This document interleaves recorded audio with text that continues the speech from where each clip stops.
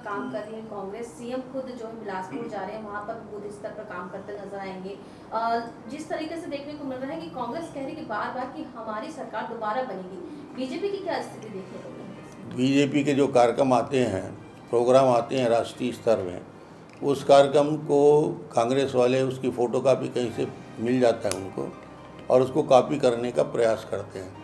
मगर बूथ का जो सशक्तिकरण का काम भारतीय जनता पार्टी कर रही है उसके वो एक सवा हिस्सा भी नहीं कर पा रहे हैं। ये काम कर रही है कांग्रेस। सीएम खुद जो है बिलासपुर जा रहे हैं वहाँ पर बूथ स्तर पर काम करते नज़र आएँगे।